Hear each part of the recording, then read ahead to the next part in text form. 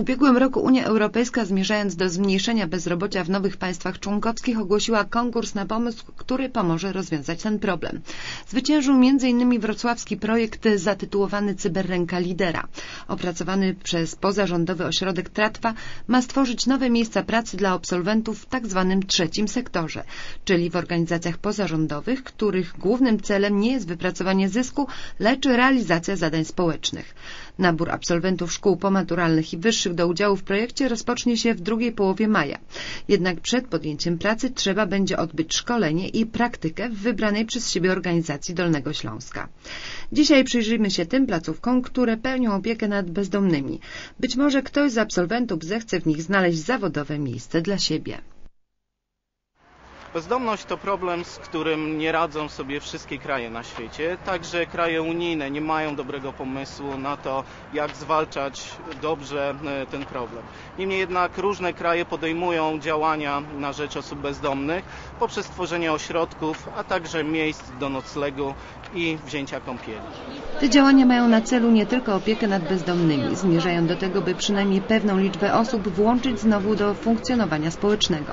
Unia Europejska nakazuje wszystkim krajom członkowskim działania, które mogą aktywizować bezdomnych. Spotykamy ich na dworcach i ulicach. Ludzie bezdomni. Jest wiele przyczyn bezdomności, jednak są cechy wspólne ludzi, którzy e, trafiają do placówek, które próbują im pomóc. E, najczęściej jest to e, problem więzi rodzinnych, problem uzależnień i wiele innych problemów życiowych, które wpłynęły na te osoby, że znalazły się właśnie w takiej sytuacji. Jednak e, fachowcy mówią o syndromie bezdomności. Robię jeżdżę. Siadaj. Y, Masz dowód?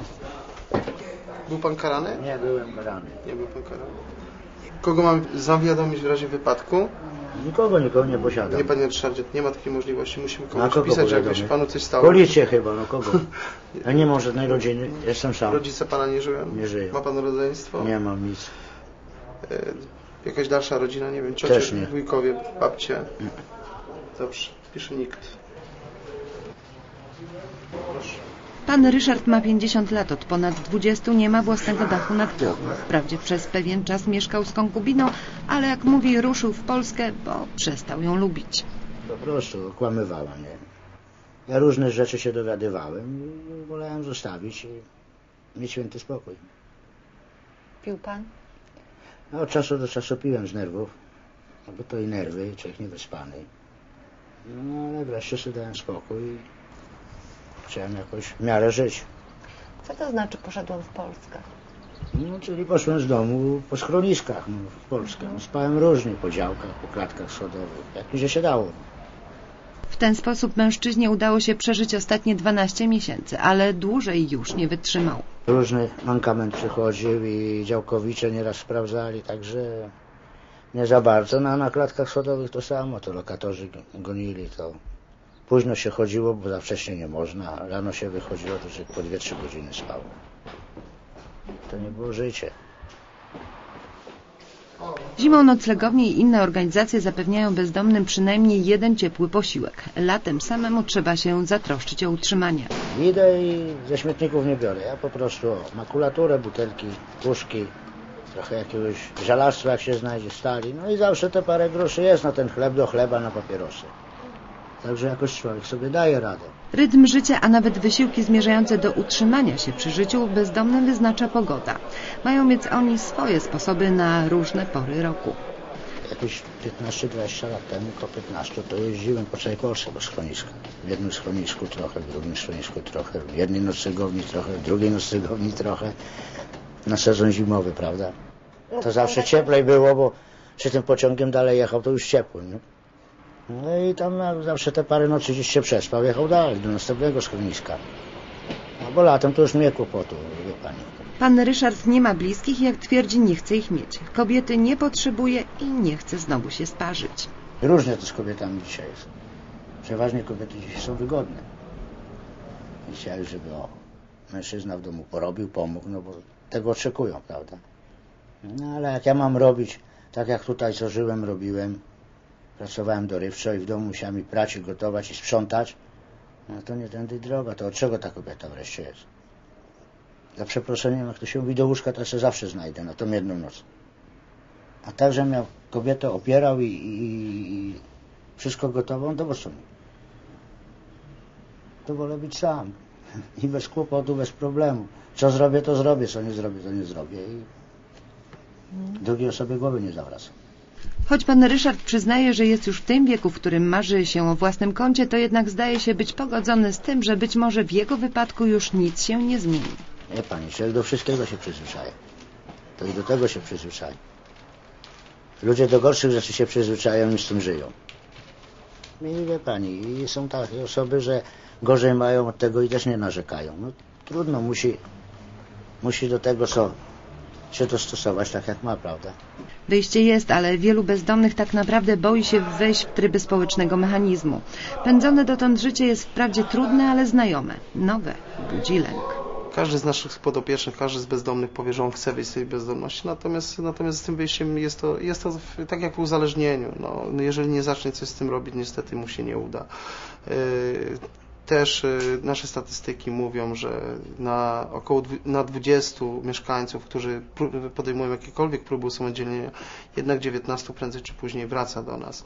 Yy, Jest strasz, bardzo ciężko, jeżeli, jeżeli nie podejmą, podejmą yy, jakichś działań w, celu, w celu wyjścia z tej bezdomności, czyli terapię, Cho, chociażby na początku terapię, jeżeli chodzi o uzależnienie ich od alkoholu, no są skazani jednak na porażkę przy, przy próbie usamodzielnienia. Macieja Gudrę do pracy w noclegowni sprowadził przypadek. Miał tu zostać na trochę. Został już na ponad 6 lat. Zobaczyłem, że praca z drugim człowiekiem daje mi coś. Yy, rozwijam się, yy, mam, mam w pracy z drugim człowiekiem taki cały przekrój, jeżeli chodzi yy, o, o emocje, o uczucia, od, od radości, szczęścia do, do, do naprawdę złości. Konflikty między nimi uczą mnie czegoś, yy, uczą mnie jak yy, funkcjonować na zewnątrz też, że czasami trzeba powiedzieć stop, nie wchodzę w to, czasami trzeba, y, trzeba być stanowczym, ale y, pracuję dla, dla takich chwil, gdzie ktoś przyjdzie, powie dziękuję, y, fajnie mi było. Taka praca nie kończy się po wyjściu z noclegowni. W każdym miejscu miasta opiekun może spotkać swojego podopiecznego. Nie musi reagować, ale z sobie tylko znanych pobudek zawsze to robi. Idź teraz, idź wykąp, idź i zostań. Tak, masz powiedzieć, że ja cię przyjmę. Tak, Mariusz cię przyjmie. Bierze a mam dzieci, a mam dzieci. Może się wydawać, że noclegownia daje tylko dach nad głową. To jednak nieprawda. Opiekunowie próbują motywować podopiecznych, tocząc z nim długie, nocne rozmowy. W noclegowni utworzono też brygady remontowo-budowlane i okazało się, że bezdomni otoczeni opieką są doskonałymi pracownikami. Oni potrzebują opieki kogoś, kto będzie nimi kierował, y, kto będzie im pokazywał. Y, Nie chcą, nie chcą brać y, swoich spraw własne ręce. Tak jest może im wygodniej, nie wiem. Y, Ale, ale rzeczywiście trzeba cały czas przy nich być. Na tym między innymi polega syndrom bezdomności, bo bezdomność to nie tylko brak dachu nad głową, ale także niska samoocena, brak wiary w możliwość zmiany swojej sytuacji, brak bliskich więzi z innymi, życie bez wsparcia. Na początku lat 90. wydawało się, że problem bezdomności dotyczy tylko mężczyzn. Dziś wiemy już, że także kobiety trafiają do noclegowni, ale z innych przyczyn niż mężczyźni. O, dzień dobry, dobry wieczór Pani Elu. No witam Panią po raz kolejny. No widzi Pani, trafiła Pani z powrotem do nas. A cóż takiego się kochana stało? Straciłaś pracę. Tak, Pani Elu, straciłaś pracę? Usiądź sobie kochana. A skąd Pani do nas przychodzi Pani Elu? Ja przy- przychodzę się kąpać i śpię na dworcu Mikołajów. Zasiłek dostajesz czy nie? Mam rentę. Nie płacz Ela. Dostaniesz u nas pomoc, nie płacz. Pani Elżbieta ma 50 lat, wychowywała się w domu dziecka. Obecnie jedyną bliską osobą jest jej konkubin. Ja zostałam sam.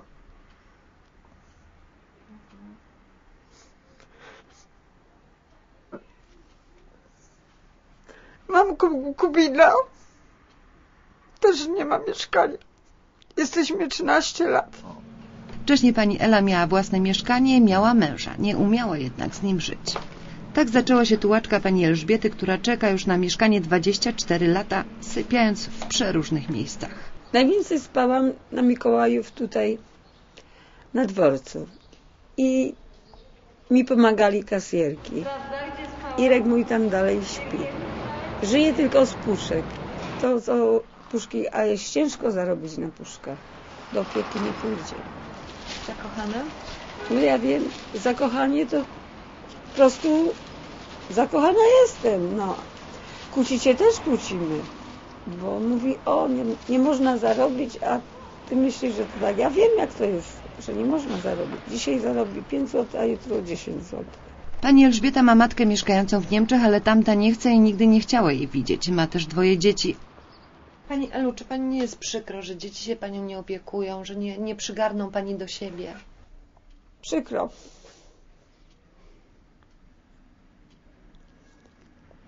Gdzie idę na każdym wywiadzie.